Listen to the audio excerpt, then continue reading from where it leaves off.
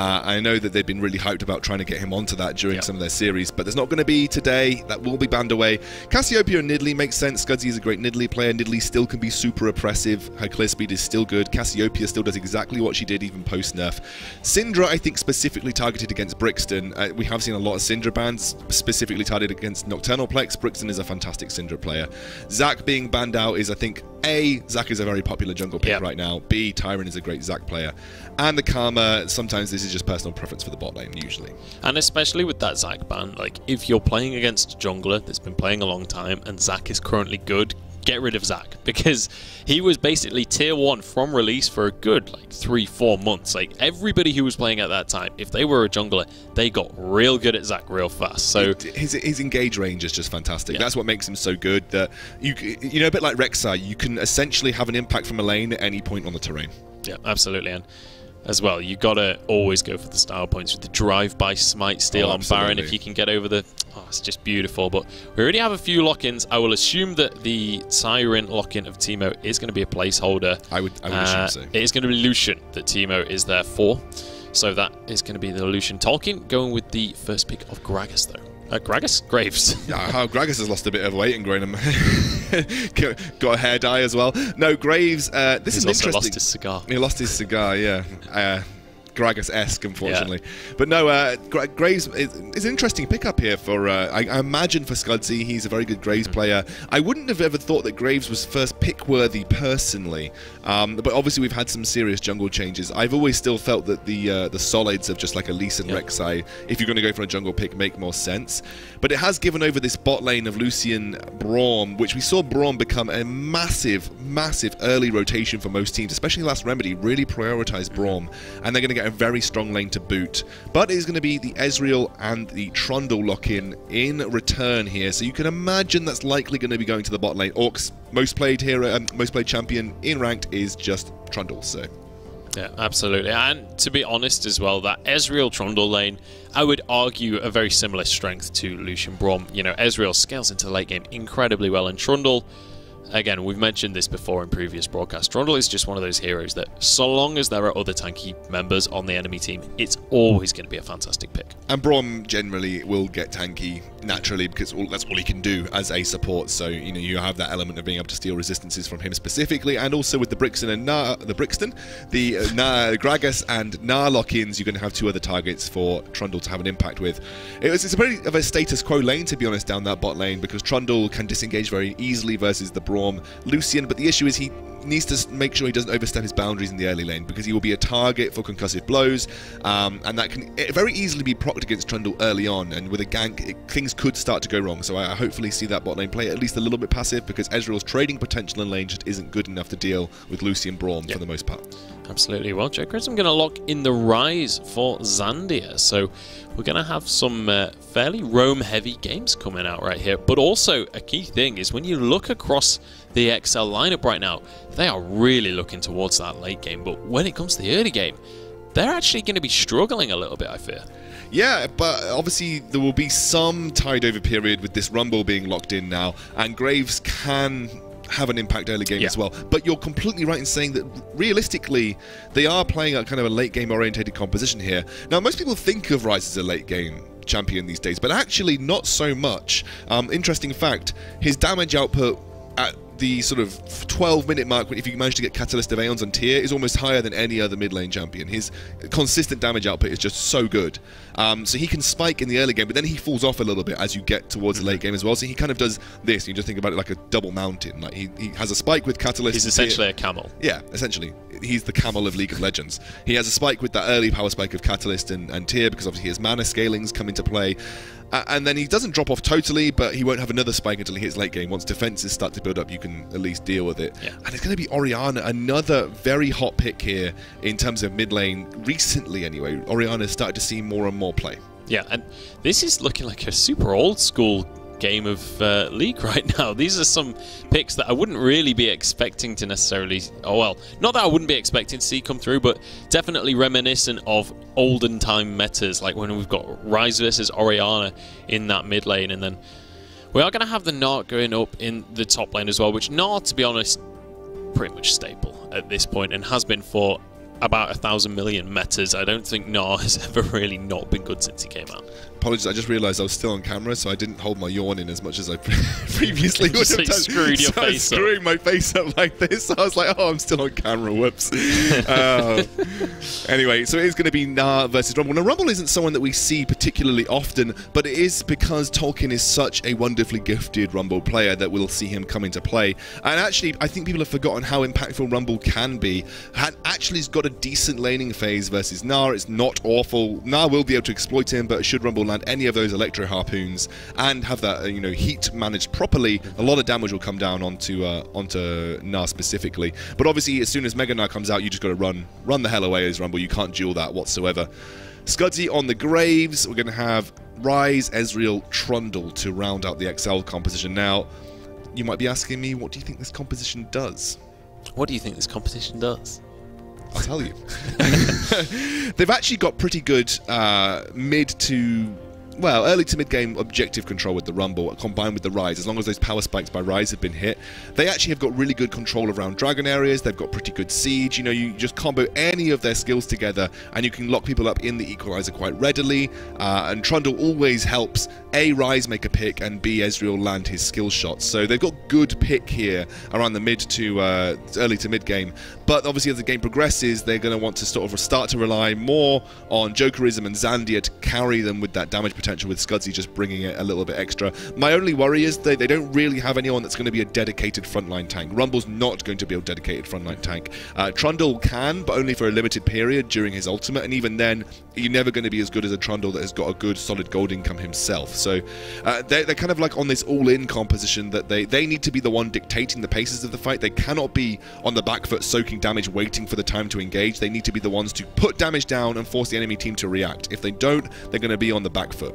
Yeah, and I'm curious as well to see how Sensei are going to play this towards the mid game because they've got one heck of a wombo combo available yeah. to them right there. You've got Braum, Orianna, Gragas, and Gnar, all of which have massive AoE ultimates. If you can get them grouped up and get all of that CC in sequence and chain it all together, like there's basically no fighting that so long as you get a few members in.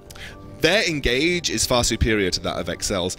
XL actually ha have the more reactionary team. They, they, I think if XL were the ones to start things like dragons and get pulled into a 5v5 where they're the ones trying to contest the territory, oh sorry, they're the ones trying to hold the territory, uh, Sensei actually have a superior advantage. You, you only need to imagine Gnar jumping into a pit with five moderately squishy champions in board, combo that with the Orianna Braum Gragas, it's going to be pain for the XL lineup. What XL are better at doing is reacting to or contesting territory held by Sensei. Rumble just does that for you. Um, you know, if, if they have any sniff of Sensei attempting to make a play against them in a Dragon Pit area or under a tower, they need to be the ones to instantaneously react, throw down the equalizer, start to start applying damage. Any form of backing away, any form of trying to escape or kite, they could be caught unawares and just, you know, landed in this ridiculous wombo combo. Good thing though, they do have Ezreal, so Ezreal will always at least Yeah. have that extra buffer to keep himself out and safe on the edge of the fight. But the rest of the team, then they could be fooling suspect. Yeah, I mean, one thing that they do have going though, XL, is when you've got a rumble, you always have incredibly good re-engage. If you can set up a good equalizer when you're on the chase, or like to turn a fight around, I mean, the equalizer, the name says it all. It is gonna just change the change the pace of a fight. If even if you're down, if you can get a good equalizer, it is just going to completely switch everything up. And I'm curious to see how Tolkien is going to be able to do during this game with his with his equalizer, where he's going to be able to position that. Well, I'll tell you what. Uh, just like London Fire, hopefully be burning some bricks down, Brixton Hamiltons down. That's what we'll be seeing this. no, I'm going to take. I'm going to scrap that. scrap that. Scrap the bricks Cut it. pun. Cut. Cut. Cut. Yeah, um, Um, that was a, it. Was a good try, mate. It was a good try. we had we had a load lined up, you know, for Brixton Hamilton, just because we. I was going to do them in game, mate. You're going to do them in game. Okay, well, I'll let him do them because he had some way better ones. I'll just have to try and play it off the cuff. But we're all here for Brixton Hamilton. He's number. We're number one fans. We are number one fans of Brixton. I'd say I'm the number one. You're fan. probably the number one fan of. Brixton. I'm just sort of number two fan, probably. You're you're the biggest Brixton fanboy. But honestly, um, going back to a more serious line of conversation, I actually think XL's counter engage is pretty good, but never discount the counter engage that Sensei are bringing to the lineup as well. Remember, that you know, all it takes is a good uh, body slam. All it takes is a good Gnar into Mega Gnar into his ultimate. You know that that kind of combo can happen quite readily. Both of the teams, I think, are going to play this quite tetchy. My only worry is if XL are the ones being proactive, and especially if they get an early lead, they're going to be the ones being proactive. They could get caught by this wombo combo quite easily because this wombo combo from Sensei has got great zone control. They really have to keep an eye on that. Absolutely. I will just quickly say before we jump into the game, I'm going to be observing tonight, so apologies if we miss a few kills here and there. I will do my very best. I am a little bit rusty. I had a bit of a practice earlier today, you've, you've, though. You've so been treated. You've been treated in the recent weeks. I'm ready to jump. I'm ready to. Jump. Yeah, I've not been observing at all this season, You- which is why it's been so good. You've been uh, you've been uh, having Trid come over and do that that uh, observing for you, but now you've been put back in the driver's seat. Back ready. to the old days of casting where we got paid uh, a pint at the end of the Going- uh, end of the weekend. back to my uh, my days in the driving seat. I'm ready to do this, but I think we are just about ready to head into game. So let me turn the chat off in game, and let's head on to Summoner's Rift for this first match of the night. It is going to be XL up against Sensei. XL on the blue side, and Sensei over on that red side. And let's see how this one's going to pan out. So they're uh, starting things off. Obviously, you don't ever see lane swaps these days because of the changes to uh, towers, which I absolutely love, by the way. I absolutely love the uh, the ability to just go for 2v2 lanes and 1v1 lanes. I think it provides a much more interesting style, uh, or at least explosive style of gameplay. You often see a little bit more ganks happen in those kind of situations. Maybe not tactically superior, but I much prefer the the standard lane setups just for a general viewership experience. Yeah, absolutely. I think, um, especially if you can get those 2v2s going in the bottom lane, that's always great fun to watch. But I'll have to see if that is going to be the case in this matchup or whether it's going to be a more passive style. But to be honest, I'm pretty hyped to see what Scudsy is going to be bringing to Hey. the table. I know he's a fairly aggressive jungler. I know he likes to go for those more flamboyant plays. So let's see if that is going to be something he brings in. You know, we've seen Graves use to great effect in the Premiership already this season. Sure. Sankus was going on a tear with it Yeah. in previous games. So So, so Scudsy's actually the main early game shot caller for XL. He generally tends to make most of the shot calling plays, um, which usually gets taken over or used to get taken over by Billy when he was playing for XL. He used to then take that over towards the late game. Uh, I know one of the issues that XL had been having is they weren't quite sure who was going to step up and take that role, but I think Scudsy's been quite vocal. So. Uh, what I'm really looking forward to, though, is Jokerism on Ezreal. We haven't seen Jokerism play Ezreal in the Premiership, I don't believe, uh, for quite a while. So I'm really looking forward to that. And Zandia on Ryze. Uh, I think we should uh, should pay attention. But let's not discount Brixton. Brixton, again, he's famed for his control mages. That's generally what Brixton has played throughout most of his professional career. And now he's on that classic control mage of Orianna. This is kind of like the staple mage that everyone has had to have in their repertoire. And now Brixton gets to bring it to the field. Yeah, I think Orianna is a similar situation to what we were saying about Zac before. Like, if you've been playing League for a while and you've been a mid laner for a while, you have played a lot of Orianna. It's just a fact at that stage. So, curious to see whether he's still warmed up on that champion or whether this is just a meta pickup. We'll see whether he's been practicing that one just for tonight. I certainly hope so, but I imagine the bot lane is going to be fairly passive for XL for the most part because Orcs at this point in time he, he's just a very weak anti-engage support or engage support if he gets this you know if he gets some help from the jungler. I don't imagine Scuds is going to be wanting to apply too much pressure to bot lane just because I think the risk of making a gank happen there is just too great. I think the gank the main lane will probably see Scudsy trying to impact is going to be mid lane. You know you at least have some CC in that lane against the Orianna and if you can burn Orianna's flash this is something that Vedius taught me very long time ago. If you burn Orianna's flash, she becomes one of the most vulnerable mid laners in the game, uh, and that's something you know, especially when you you are looking at the game, the enemy team, you're saying where's the weak point? Well, you know, as, as a frank perspective, you know, Brixton could be considered the weak point for that particular team, uh, and you want to try and at least put a, mu- as much pressure on you can. You've got Zandia, who's your star carry. Just, I, I think Scudsy's probably going to be looking to impact there as much as possible. But speaking of impact in the Yeah. mid lane, looks like Tyron. Tyrant was looking towards that, but I think the call came out from Brixton just saying, look, I want to get this minion wave. I don't think we're actually going to get anything. He's backed away, but down in the bottom lane, Scudsy is here, but Grissom looking to capitalize. Does get a Winter's Bite, but no follow-up going to come out from either team, and it is just going to mean that both junglers have to back away. Yeah, and the back early there for Zandia was to start stacking that Tear. What that tells me is he immediately wants to start putting pressure onto Brixton. He wants to get that spike, start building it up, building his damage up and just putting as much pressure onto Brixton as physically possible.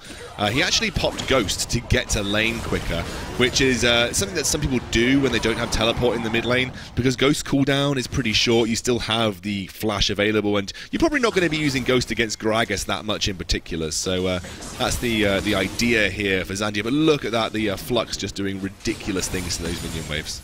Yeah, just such good wave play. That's at level 4 as well. Let me just point out, it is insane how quickly he's able to deal with those minion waves and already has his Tear and in fact is just going to go straight back to base again as well. So grabs himself some boots looking to kind of regain that mana that he burnt to get that minion wave. Yeah, and look at this, Jokerism and Orcs is exactly what I expected them to be doing in this lane, just farming up, trying to stay as far away from possible as Lucian and uh, Braum as physically possible. This top lane will be interesting though because I think Gragas can have an impact here, especially post 6. And I think Tolkien knows that. He's now level 5. This is a, a, power spike for Rumble and this is why you're seeing him managing that heat so well and going aggressive with that Flame Splitter because your Flame Splitter damage at level 5 is insane.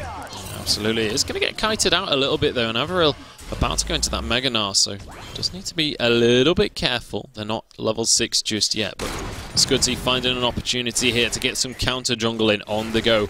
But in the meantime, his opposing jungler is doing exactly the same thing, mirroring each other right now. Look at Tyron's vision control early on here, though. It's three wards into the red side jungle and a pink, aggressive, deep uh, red side pink for Sensei. I've got to praise Tyron for that. It looks like Scudzy centered most of his vision control around the Rift Herald and uh, and river area, and he's actually standing on a Sensei ward right now, so they know that he is there. But I think they know that Tyron's there as well, so they're trying to at least try and bait him in, or if the gank does happen, Tyron was there to uh, to uh, essentially counter gank. Absolutely, and I think once again they find that the junglers are just mirroring each other and have to back away in the end. But all in all, this game's been fairly even so far. We've got a, a small CS lead starting to build in this mid lane, but Brixton just about evens that up again. The only significant difference really is in this top lane. So Scudzy saw that his uh, his Razorbeak camp has gone, by the way. Uh, actually, and also I will touch on that CS difference in the top lane in just a second. He actually thought that uh, Tyron was spending time around that mid lane, so was really pinging Zandia back. But uh, lucky timing for uh, means he's going to pick up the River Scuttler, which provides some protection for both his bot lane and his mid lane. But you're right, that top lane CS difference is starting to open up, and despite uh, Tolkien actually really coming ahead in trades. Avril has really just been focused in on uh, landing the CS, and that's something that you can find very difficult to do with Rumble. Um, you often really focus on trying to use Flame Splitter to trade, and that really messes up your ability to CS. A, a, lot of people will tell you Rumble is one of the hardest champions to learn how to CS properly within the game. Yeah. And uh, Tolkien is actually, most people will say, if I've got like 10 to 20 CS less than my lane opponent as Rumble, I generally count that as an even lane just because of how difficult it is with Rumble to A, CS under turret, and B, try and CS and harass at the same time. Yeah, absolutely. And as as someone who's never main top but has played Rumble, I can confirm that it is obnoxiously hard to CS on that champion. The Flame Spitter just so difficult to use effectively to get those minions, and often it means you end up losing the CS. But we'll see. Tolkien did go a little bit aggressive there, trying to get the trades here onto Averil. Does have his teleport available. Averil already has used his, so that could be something that comes into play in the next few minutes' time, but Mega Gnar is going to be used here by Avril, which means Tolkien, if he can get his opponent during that exhaustion phase, could have an advantage. But also, you need to um, take into account, look at the early itemization coming out from Averil. Picked up a Hex Drinker.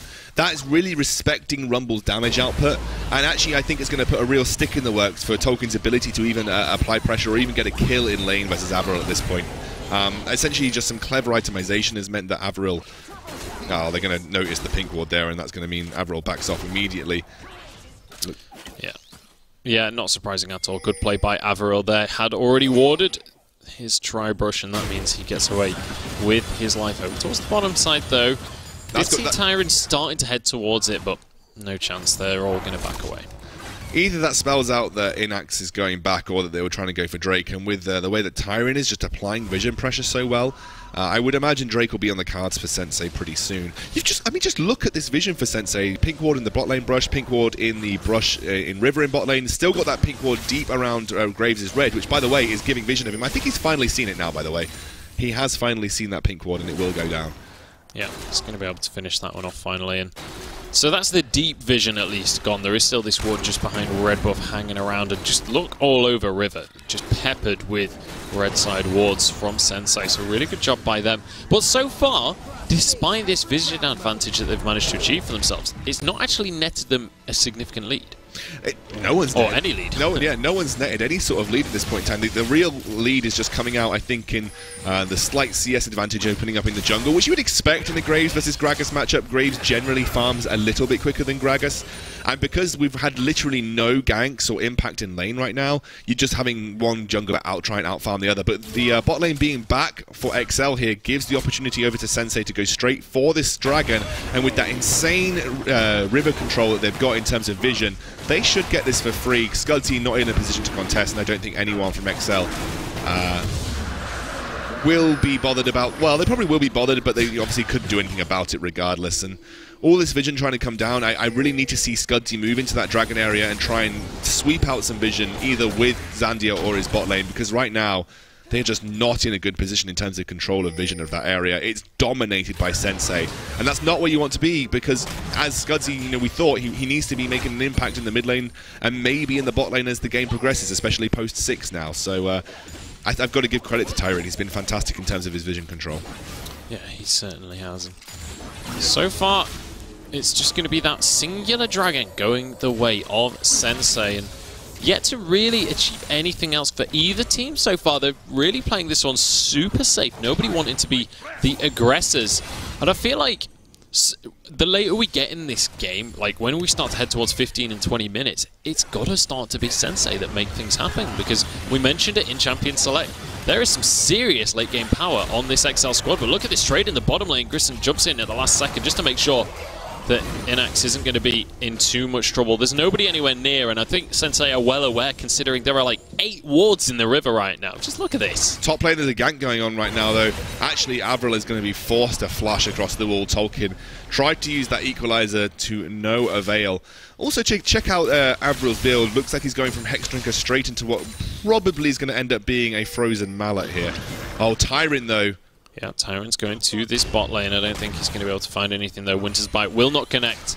And that means they can't really find themselves any kills. And they'll maybe try and push the tower, but no, decide to just back away. In the end, they're going to head back to base. And Brixton is going to get warded out here. So he has to cancel his recall. Does have some mana still to stick in this lane phase though, and Tyron is coming on in. They're going to force Zandia away at very least. Does have both of his summoners available, so should be able to get away. And in fact, still very aggressive positioning coming out of him, no less. He's not bothered. He, he knew that he was going to escape if he just ran up the side because Scudzy was in a position to at least try and uh, force it into a 2 versus 2 someone needs to start going to clear that river out, though, because right now the bot lane is completely blind almost.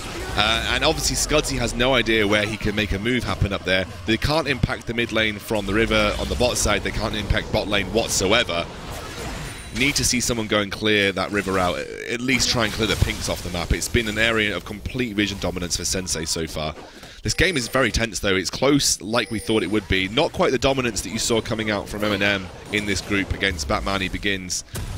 Definitely Sensei proving to be a bit of a challenge here for what most people considered would be a favourite game for XL.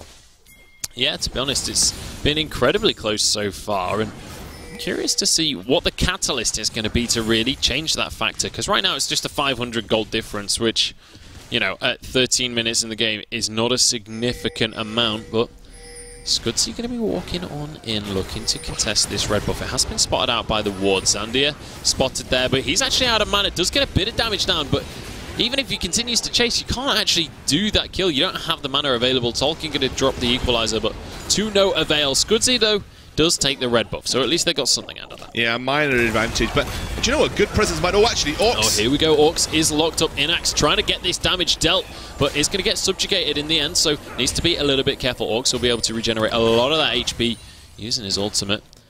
But the disengage once again comes on through, but here comes Brixton sneaking on down through the jungle. Will get spotted by that ward, and this should be the sign for Jokerism and Orcs to just back away. This tower will be going down, so they need to be careful. If they go near the ball, they will get hit by a shockwave, but here we go. Tower has gone down. That is going to be first Brixton Hamilton going the way of Brixton Sensei. Hamilton. yeah. First Brixton Hamilton going the way of literally Brixton Hamilton. Yeah, the first Brixton Hamilton gold. But here we go, fighting the top lane as well. Tolkien is very, very low on HP and is going to get chased down. Does have to flash in the end. Avril gets his Hex Drinker procced, but he's more than happy with that. Means he wins the trade and means that he can just push this lane on it. Yeah, and this is something that I think Hex Drinker really adds to the matchup. Had Hex Drinker not been there, that almost certainly would have been a kill going over to Tolkien. So, really good presence of mind by Avril to delay the general build for Gnar, because Hex Drinker really isn't as you know bad for Gnar's build as you might think. He really relishes the AD, and that magic resistance is fantastic. But it looks like we're going to get a lane swap because that first tower did go down.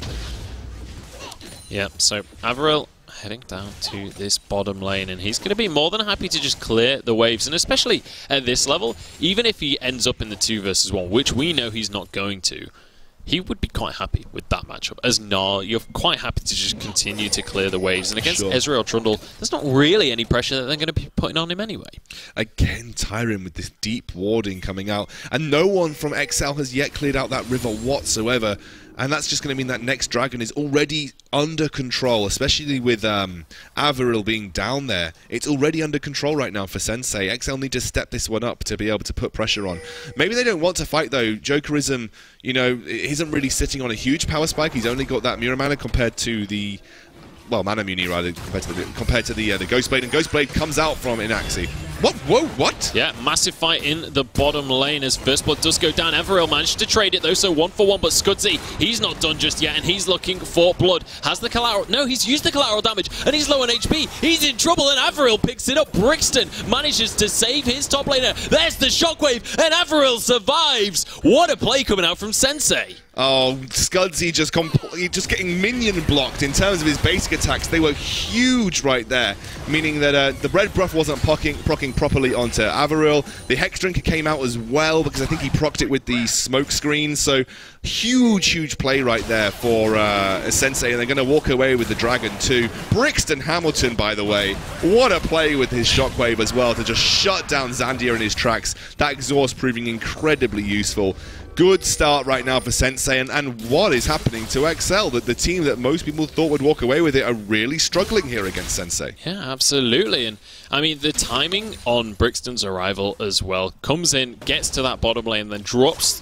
the shockwave down on them like a ton of Brixton Hamiltons. And Tyrant just going to be able to steal away that Scuttle Crab. And, well, We've got a lead now, finally. It's been neck and neck for the first 15 minutes, but Sensei have started to edge this one out slightly. Yeah, exactly. They've, I mean, they've only just started to find their gold lead, but is it enough right now? I mean, what was the second Drake? Was it another Ocean Drake they just picked up there? Uh, I believe it was two oceans. Two yeah. ocean drakes, yeah. So that's the second ocean drake potentially picked up right now for Sensei. It's going to give them great sustain. Um, whether they need that or not at the moment is, is begs to differ because obviously uh, laning phases. As, as Orianna, I'd say oh, that's no, pretty great. Absolutely, I guess especially against the Ryze, You know, you want to be able to continuously. I mean, look at the right mana regeneration; it's already fantastic right now for Brixton, and you just outrange Ryze obviously with that command attack. So if you continuously get mana back, you don't even need blue buff to trade effectively in lane. And he's caught up and overtaken in CS over Zandia as well. So, wow, Sensei looking very solid at, at this moment in time. Absolutely, and getting this pressure down to the top lane there.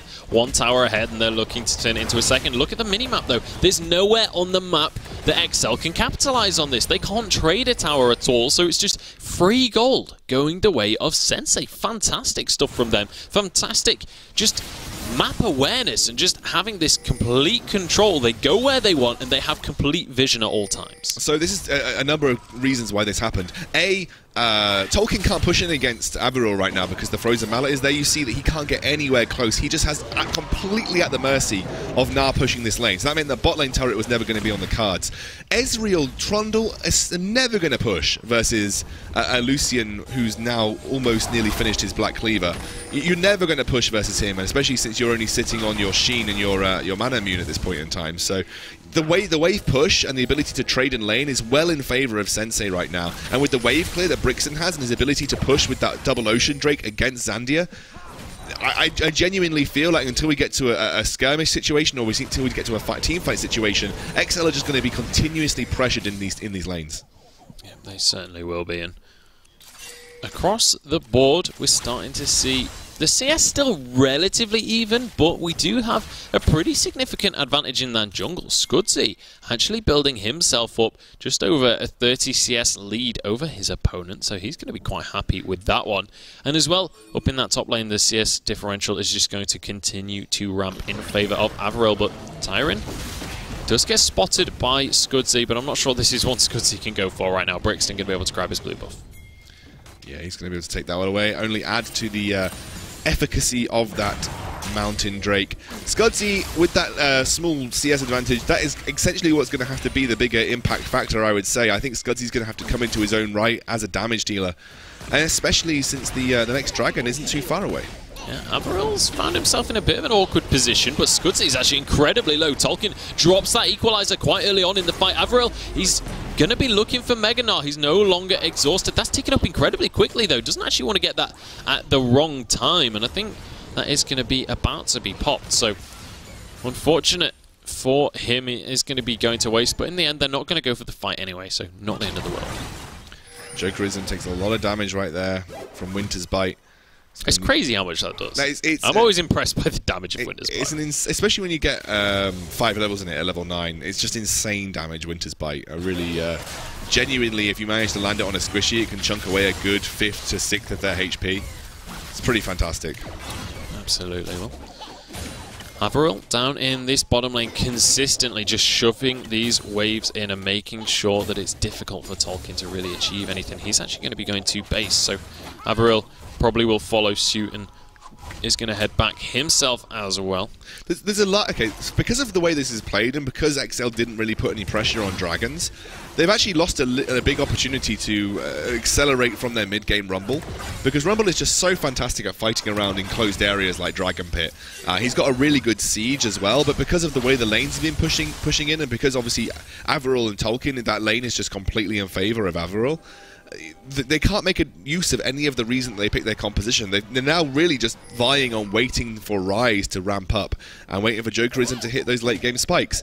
My only issue is oh, Ryze. Zandy has gone the Ryze build that I don't particularly like, which is the um, basically the Morellonomicon or uh, whatever it's called now into Rylai's, because that, that name always changes, right? It's still called Morellonomicon, right? I always thought it was called Morella Nomicon. I wasn't aware that they'd changed the name of it. But They changed it at some point from some other name, but now it's uh, Morellonomicon. But I, I, I much prefer the um, the Rod of Ages build, to be honest. I just feel it makes Ryze a little bit beefier as a frontline and gives him a bit of a spike with the Catalyst of Aeons. But this build means he can get these skill rotations off and does a little bit more damage, I would say, in a teamfight scenario. It just means he becomes a bit more of a high priority target because he's easier to burst down. Absolutely. Well, we're looking at maybe a bit of action in this mid lane right now. They're trying to get some pressure onto this tower, but XL not quite going to be able to find the damage they were looking for.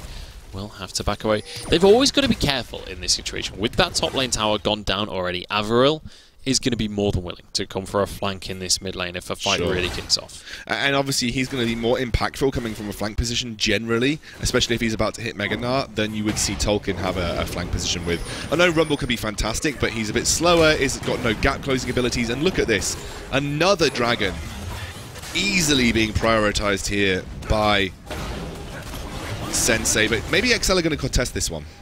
Yeah, it's going to reset as well. And actually, XL arrive on the scene now. They might be able to just steal this one away. They need to make something happen, and they do. It's actually Jokerism that picked it up, so...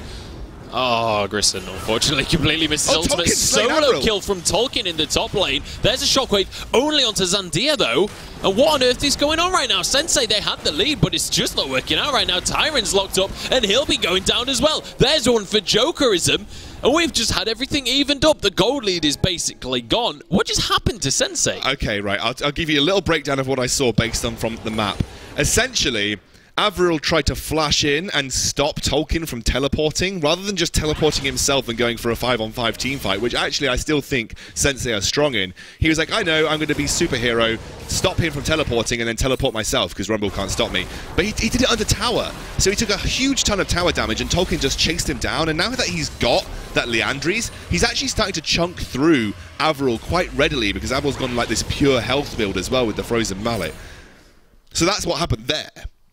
And then obviously somehow XL came out on top in terms of controlling the Baron area.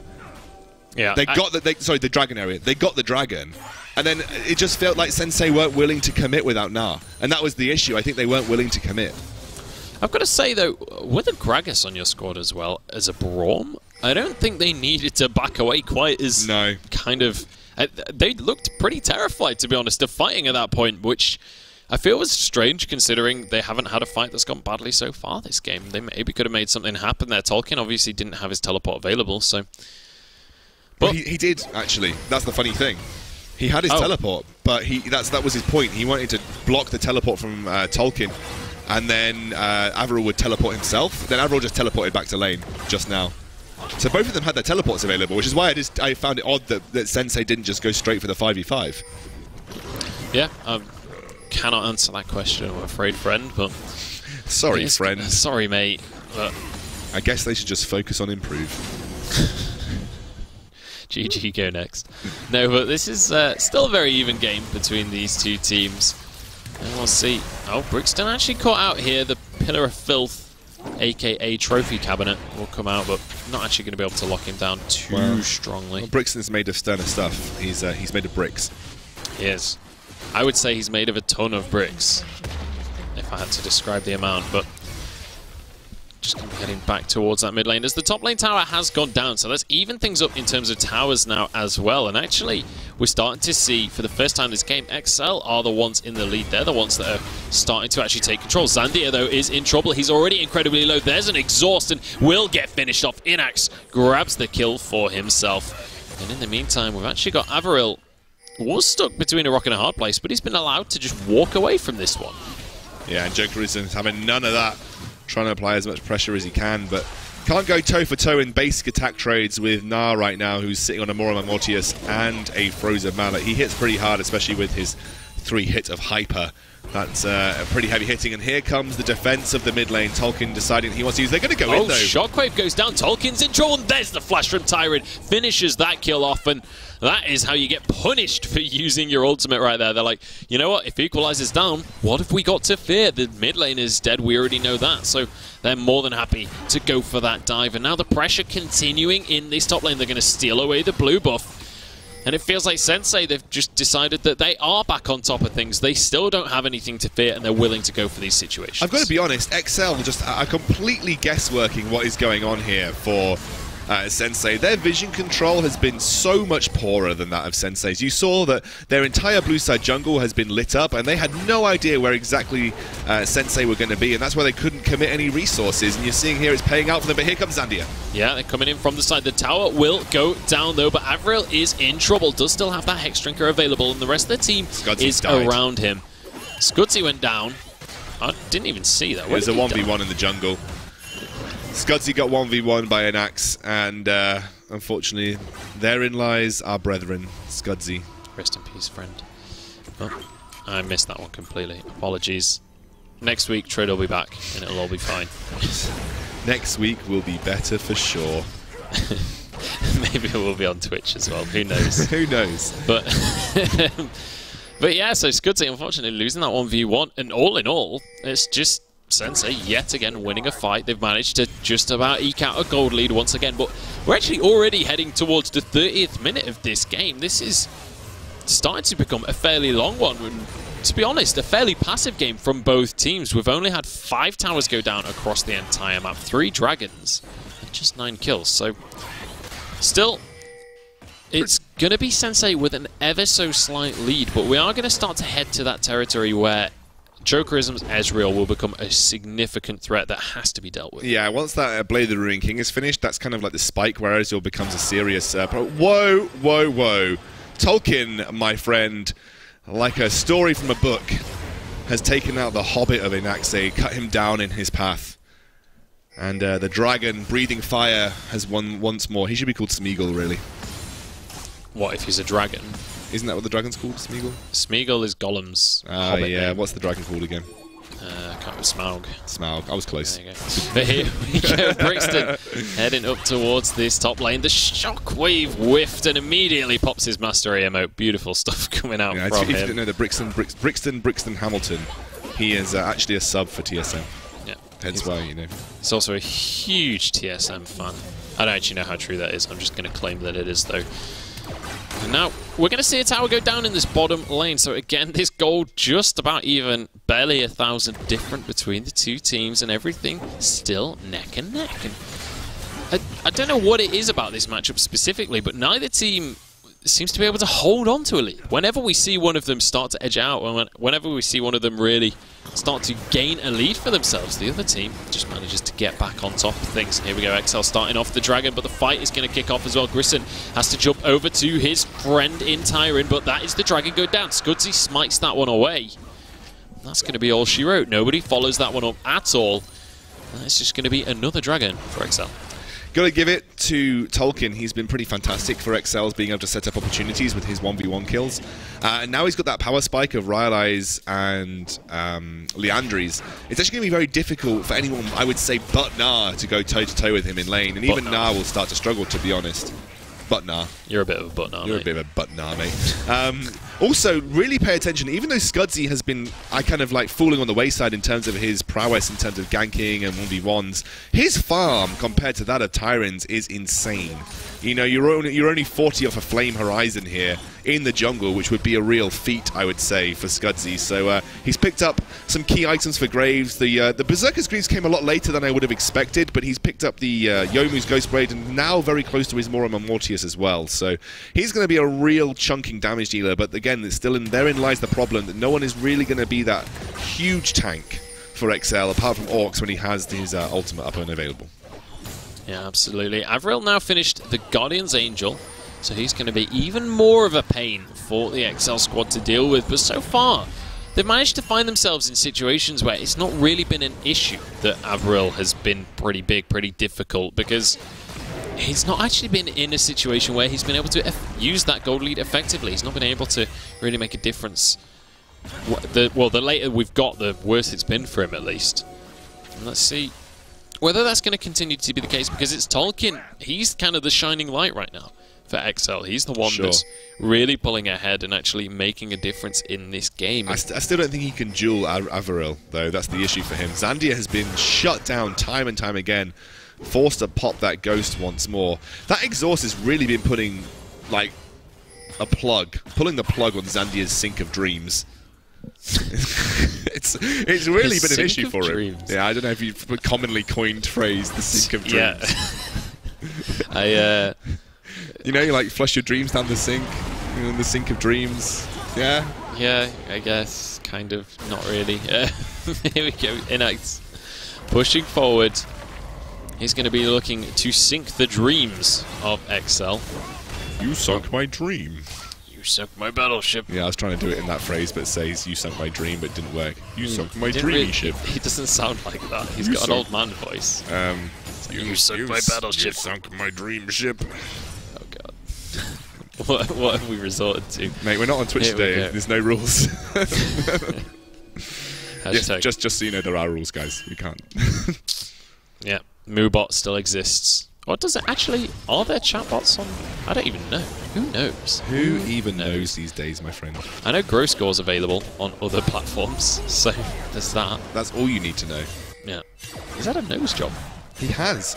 Um, but, well, why we not talk about that though? I, I, I, I'm looking forward to seeing the results as much as anybody, but right now there is some serious League of Legends to be played. Ladies and gentlemen, the world's first esport nose job. But here we go. Jokerism's been hit by a Winter's Bite. But look how and actually, much, uh, Realm comes down into the bottom lane by Zandia, but doesn't achieve anything. Avaril's happy to walk away.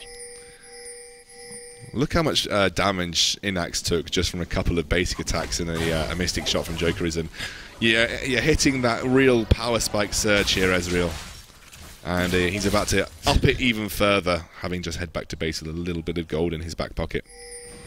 Absolutely. And well, now we're starting to get towards that barren stage of the game where both these teams are going to be looking towards the big purple. Look how Uh, close the gold is, Joe, by the way. I know it's ridiculous, isn't it?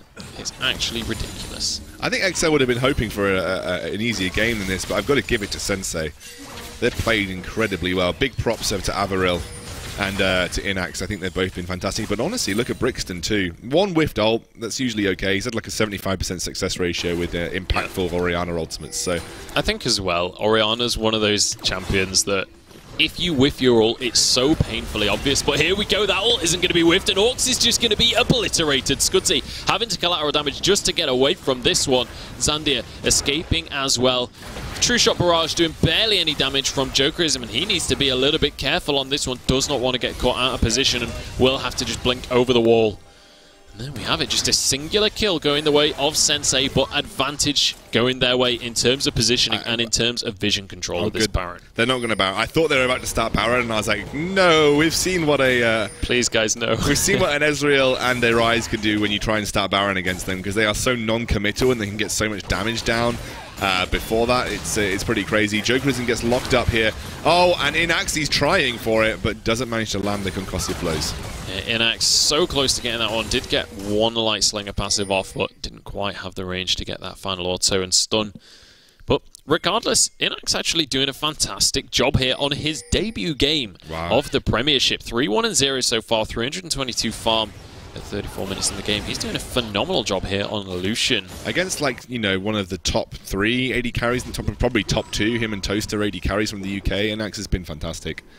Also picked up a rapid fire cannon here, heading into some more critical strikes. So extending that range, that one uh, in in range or in ranged. I was about to say in ranged. that one enlarged ranged auto attack could be the uh, matter between getting a uh, concussive blow procs on Jokerism or not. So interesting pickup choice there. Helps his siege potential too. This has been such a stalemate, and with the Elder Dragon spawning and only three kills and 1,000 gold separating the two teams it's you can't help but feel that one team fight could almost decide it. Yeah, absolutely. Well, Averil's been caught. He does have a Guardian Angel, but definitely doesn't want to use that. And in fact, Tyron just going to use his Explosive Cask to make sure that fight isn't going to happen anytime soon. And I think that was definitely the right decision. Averil does have his teleport. He's going to go back to base, but I don't think anything's too crazy is going to be kicked off off the back of this anyway. The more and more I see of these team fights, the more and more I feel like it's a matter of time before Sensei hit the ultimate wombo combo and just like steamroll the game. Yeah, uh, well, I think so far the team fights have just been non-committal, right? Yeah, Neither exactly. team is really willing to risk getting caught in. Because when you consider it, both teams have a wombo combo, right? Well, one of them is less about the CC, more about just pure damage, because you've got Equalizer, True Shot Barrage, and Collateral Damage. If that lands onto a group of you, you are going to just be all deleted immediately. So it's definitely a, a two-way street, this one, and either team could get a combo off. However, I think you're definitely right that when it comes to that style of team fight, you've got to give the advantage to Sensei. Absolutely. So here we go. Avril pushing in that bottom lane now. And there goes Nah. Great commentary, mate. That was good. Uh, we don't usually uh, we don't usually play by play the CS thing. well, I'm not a play by play. I don't know what the rules are. You are a play by play now, though. Kind of. Somewhat. I have done play by play moderately recently for Vainglory. Uh, other MOBAs. for other mobile MOBAs. for other mobile MOBAs that I, I, may or may not be. Am I allowed to mention that on stream? I'm, I'm not Probably not. Yeah, well, let's not. But here we go. It's going to be Grissom pushing on forwards. Does get a Glacial Fissure, but doesn't actually get too much CC. Nice flash forward by Tyron, but here's the oh, flag. Tolkien with an awesome equalizer onto all four of them. They're going to be dropping. And that is going to be Inax actually going back in on this one, looking for Orcs, but gets exhausted. Nice use of that summoner, holding on to it for the entire fight, and that's actually going to save his life. Oh, they're going to try and bait the Baron here. They don't want to start it. Brixton will be able to use... Oh, they go straight in! Beautiful stuff coming out there. Jokerism jumps over and deletes Brixton.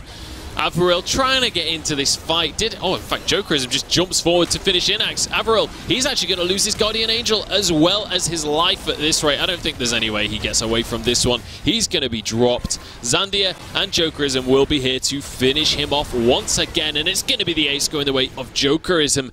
Baron is available. Death timers are still incredibly long for oh, Sensei. Sensei big, big misplay in terms of the way they want to play these fights. A, unfortunately, Brixton whiffed his ultimate completely. And B, you, the best combo you have as Sensei is sending a Mega Gnar in and landing a Gnar ultimate and having an easy time with your Orianna ultimate. They didn't play it that way. And honestly, when it comes to a 4v4 without Averil, I just give it every day of the week to the four of uh, XL Esports. But they're flanked by Tolkien. I mean, we, you heard us go insane for it. What an equalizer. Caught three people up and allowed the rest of XL to collapse down. And they get the Baron off the back of this. Got to say, the bait by them using the vision control that they previously had set up was fantastic. And Jokerism, well, oh dear, Grissom's caught out. Zandia picks that kill up basically for free.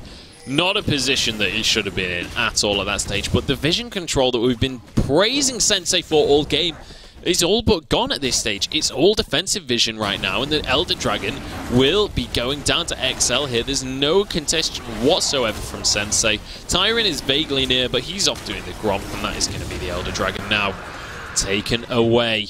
XL I mean, we both said that these guys were the favourites coming in. It looked like it was going to be super close the entire time, and you said it right. You hit the nail on the head when you said there's going to be a single team fight that just about decides this game. I think we might have just seen that in the last team fight, because right now, XL look commanding. Yeah, they've finally hit that late game of Ezreal Ryze, and even to an extent, Rumble with the Liandry's and the Void Staff. His penetration is just huge. Oh, Jokerism's caught. They can't quite finish off the kill, though, in Inax almost trades his own life for it. So both AD carries narrowly survive the collateral damage and the True Shot Barrage. The shields have to come out. Aegis to the Legion, the only reason he's alive right now. But in the meantime, Tolkien's just pushing. Brixton is shielded Dandy as well. Or Tyron, rather. So uh, just, just to put a little bit of more pressure onto Inax there. But again, I mean, that has all resulted in a lot of resources spent for very little gained for Sensei, and it's going to mean that XL are able to push forward and up towards this top lane. Fantastic, fantastic performance so far from XL. Jokerism expending everything to survive, by the way, but him surviving is crucial because it allowed XL to maintain their pressure take away the rest of the uh, Sensei jungle, and it's just a matter of time, you feel, before these inhibitor turrets come into play. Yeah, definitely going to be the case here. Baron still going to be on the members of XL, but not for too long. They've only got just over a quarter of it left, so they need to make something happen soon if they want to use that tool to siege on in. They have fairly decent siege anyway with Ezreal. They're going to have a lot of poke available to them, and the Equalizer can easily secure yourself a tower just by using it to zone away the opponents, force them back away from an objective and then just use that opportunity to push on in. But Elder Dragon about to time out as well, so if Sensei can just hold on for another 30 seconds or so, they will be able to survive these buffs. They will indeed, and actually, with this Baron buff, there isn't apart from Brixton, they really don't have massive amounts of wave clear, but they have enough, I would say, to be able to survive the pressure that the Baron can put out for XL, which is why I kind of want to see that split push pressure come back. I want to see Tolkien and Zandia head to those side lanes, but at the moment it's Scudzy putting pressure there. They're going to try and go for a very close-knit 1-3, 1-4 split here. And they're going to, as soon as you draw Brixton to a side lane, that's where your wave clear goes for um, for Sensei, so that's the pressure that XL can put down. The only problem is when they want to siege a turret, they have to get close. And to get close is when you play into the favor of Sensei, and they really want to be just poking as at max range with Jokerism and trying to get as max range damage down with Zandia, uh, and I expect that's probably what we'll see Continue XL to do. That, that sentence made no sense, but you know what I meant. I know what you meant, mate, but it's going to be that actually we're at a point in the game now where the buffs have run out once again, and I feel like Sensei if there's an opportunity for them to get back in, it's going to be now. It's going to be over these next few minutes because people are starting to get to that six item threshold. So the gold lead will stop to matter within the next few minutes. And that means as well that without those buffs in play, without the Baron and the Elder Dragon, there's not really a significant advantage in play for XL. So we once again just go down to those team fights and who can really win out.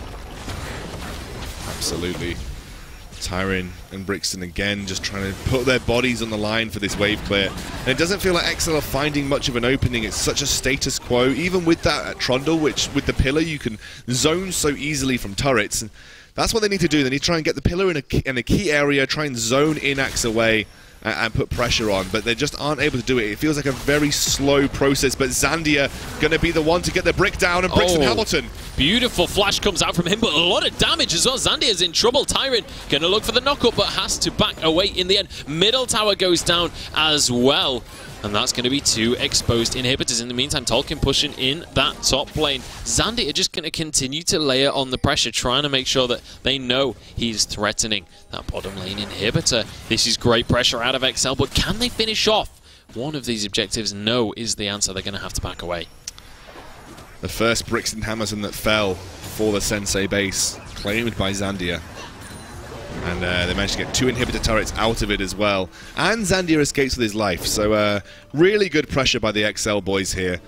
And they've just got one more turret to crack. If they get a clean sweep of these inhibitors, it's almost lights out for Sensei. And especially with the build you're seeing coming from Inax, it's really just getting completely outscaled at this point by what Jokerism is bringing to the table. I think Jokerism's actually full build now as well. Picked up a Mora Malmortius. And, and I love the fact that Mora has been prioritized by these AD um, champions on the side of XL because they're just so scared of what Brixton could do given the time. You know, if he gets a good uh, ultimate coming down, that could be, you know, lights out for both Jokerism and Scudzy. So they go for the more because they realize that that shielding is just so important. And now they're going to start to apply pressure to top. Feel like without those inhibitors, you know, you need to start putting pressure in other lanes too. So we'll have to just see. Maybe they set up for Baron as well, Munch. Yeah, I wouldn't be too surprised to see that be the next call, especially with it being up in just 35 seconds. And as well, we've got the matter that they won the Baron last time, right? They've got kind of that confidence behind them, but as we've mentioned a few times this game, look at the Wombo combo available for Sensei. No matter the gold difference, no matter what has been going on in the game, if you're going for Baron against a Wombo combo, it is always going to be dangerous. There is no situation where a Wombo combo can't just win a fight like that when you're in that Baron pit. It's such an enclosed area. It just plays into that style. Absolutely. Orcs now fairly tanky, so really can be that front line for XL, especially once he steals those resources. He's picked up the Randuins too, so, you know, even if Lucian does get into the front lines... Oh, wow, Tyron going in! Yeah, here we go. There was no Shockwave available, though. Didn't have the ball onto his jungler, and Tyron is going to be the first one to drop. That's Scudzy picking up the kill, and Avril is all on his own. Gets hung out to dry. Oh, There's a four-man Shockwave coming in, but where's the damage? Where's the follow-up? They can't get their kills, and there goes the top laner. Disaster strikes for Sensei. And unfortunately, while it was a nice four-man shockwave in the end for for Brixton, he needed to have it when Tyron first went in. He needed to have it yeah, instantaneously onto Tyron when he made that massive flash engage onto the rest of XL. Unfortunately, then they went in one by one, and, and, the two tanks that you needed to combo Shockwave with to apply mass splash damage were both dead by the time the Shockwave came through. And Inax couldn't commit any further than that because realistically, the Shockwave, while it was amazing, it didn't pick anyone off. It wasn't impactful enough to say, we can instantaneously win this fight.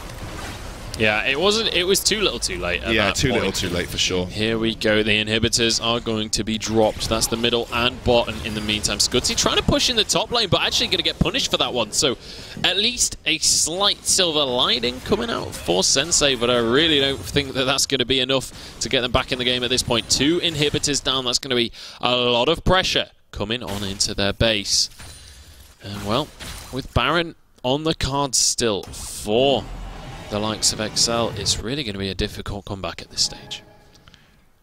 Yeah, if a comeback at all, to be honest. It really relies on all of the cogs working in perfect synchronicity for um, Sensei Gaming. They, they, they really need to make sure that they have that Gnar ultimate into Orianna ultimate into as a big amount of damage that Lucian can put down as possible. Otherwise, you, I just don't see many ways that they actually get back in here. The late game powerhouses are just so too far online right now for XL Esports. Jokerism, massive damage output as this Ezreal. Zandia just with the with the very aggressive Ryze build, the, the Rabadon's Morellonomicon variant, picking up the Rylai's as well to help control the fight for the Equalizer. Just you just feel like it's it's too far into the game. We're 47 minutes in, by the way. I mean, this is ridiculous. Yeah. And I mean, this is the point as well. We were I was mentioning earlier when we get to six items, the gold lead stops mattering. Brixton is already at the six items. He's got 495 farm, so he's well and truly done at this stage. And you've got everyone else just about finishing off their builds as well. Inax going for that Hexdrinker. He'll be looking towards a more Malmortius as well. He's got one and a half thousand in his 5, pocket. 5,000 gold with. over on Scudzy, by the way, compared to Tyron. Scudzy's got a singular 5,000 gold lead what over his opposing lane number. What a baller. Similar amount of gold difference uh, up in that top lane. 3,000 for him. And a couple of pretty big ones across the board. But regardless, right now, it's less about gold and more about the pressure that these minions are going to be pushing on in. Mm. Because there's two super inhibitors. there's two inhibitors down. That means the super minions will be pushing. But this Baron buff, once again, not really being that effective for XL. They're really struggling to make the siege happen. The, the, uh, The hard thing is that they can't split push because if they get caught out in a 4 versus 5 with the really good engage coming out from uh, Sensei, then they're going to potentially lose their entire siege altogether. So they feel like they have to stick together as a team at this point, which I think makes sense. Just let the super minions do as much work for you as possible, and you're seeing they are starting to push in now. They are starting to push in that bot lane, they are starting to push in the, uh, the mid lane. And you remember, every time a Baron wave comes to this tower, that siege minion will start to put pressure on by itself, and it's very hard to take that out without committing as Sensei. And this is what XL are trying to crowd around at this point. They're just trying to really allow this Siege Minion to do all the work for them. Yeah, absolutely. Make sure that it is going to be able to at least chunk down that tower somewhat, and they'll be able to finish. That oh, Baron's gone now. Baron, as you rightly say, is done for at this stage, and Brixton going to continue to just wipe away these waves. But here comes the equalizer. The three-man knockup comes out from Grissom, but I don't know if it's enough at this stage. Scudzy has to flash away, and this is a particularly non-committal fight from XL. They don't want to die for this one. Tower finally goes. There's a shockwave that matters. They finally get a kill. Sensei going to be leading this fight 1-0 but they lost the tower for it. There goes a shockwave. Doesn't finish anyone off, though. Or should I call it a true shot barrage? Orcs going to have to back away from this one. Jokerism jumps forward aggressively. Can he find anything, though? Is going to be slowed by the boomerang from Avril. Grissom going to be knocked up by the Pillar of Filth. Inax still very healthy, though, and he's got a lot of damage at this stage. Jumping forwards, gets hit oh, by those harpoons, Jokerism. though, and has to back away. Brixton being forced away by Tolkien in the meantime, and that is going to be the top laner going down. Tyron survives, though. In the meantime, So, so low, and he will get dropped. Nobody dies for the side of Sensei, and there's three casualties for XL. And all of these inhibitors are soon to be coming up as well. They managed to fend off that siege. XL just got a little bit impatient.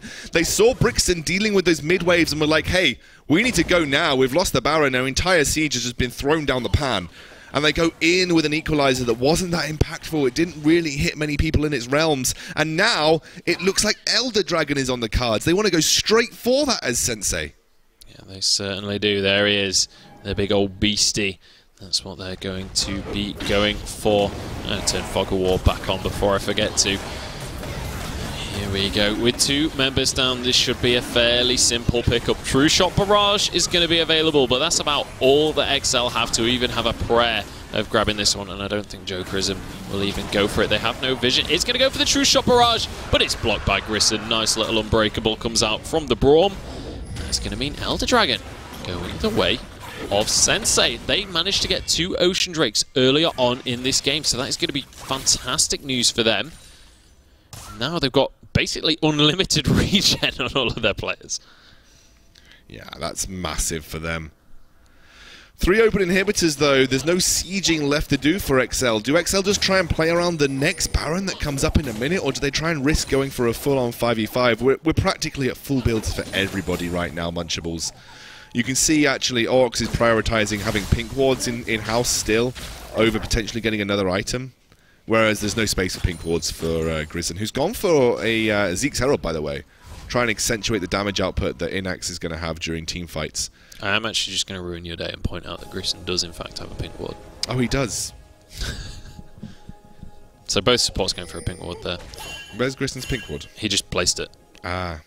He didn't have one. He placed it he, there. Did, did he sell a Giant's belt for that, though? And then rebought a Giant's belt? What a baller. What a baller still didn't have that much gold to play with either. So brave plays coming out from the support. But I, I, mean, every little bit of vision helps at this stage. True Shot Barrage goes all the way across the map. Oh, it takes out the tower.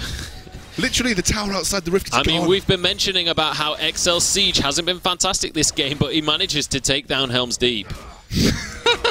um, but joking aside, Baron has respawned this could be Sensei's opportunity to really make their comeback in this they're going, game. They're just going for it. Well, yeah, I suppose when you've got the positional advantage and you're this late in the game, the damage is obscene. They can melt this health bar down. Culling actually used there by Inax doesn't really achieve too much, and that is going to be the equalizer. But 4,000 on the oh, Baron. Avril goes in. It's going to be Brixton managing to get that kill onto the enemy jungle. A nice exhaust onto Zandia. That is going to be huge, and Zandia goes down. The Baron goes the way of Sensei. XL are falling apart. Two kills go the way Sensei as well, and Jokerism trying to do what he can, trying to get the poke out, but it's just not going to be enough. Yeah, they're looking for a flank play as well with, with uh, Avril coming in from the side. Are they going to be able to catch Tolkien off here? Here comes Avril. Well, Tolkien comes on in. It's going to be Avril all or Tolkien, sorry, all on his own on this one, and jumps over the wall and mushes him underfoot. And here come the Baron up minions. This could be game Dragon almost. Buff has ended, but you're absolutely right. There's over a minute on Tolkien's respawn, 30 seconds still on Scudzy, and 40 on Zandia. This very well could be game. We've got the Ghostblade coming in from Inax, and look how fast these towers are going to melt down. Jokerism and Orcs, they've got to pull something mir miraculous out of the bag if they want to stay on the map right now. This is a ridiculous comeback from Sensei, and to be quite honest, this is a game that they should not be winning. They have no right to be winning this match, but they don't care. They're going to be taking down these Nexus towers, and after a 54-minute epic, it is going to be Sensei taking the Nexus and taking the game while still 3,000 gold down. I feel like the silence is completely necessary there because honestly, I really did not expect that from the way they were going. But XL made one big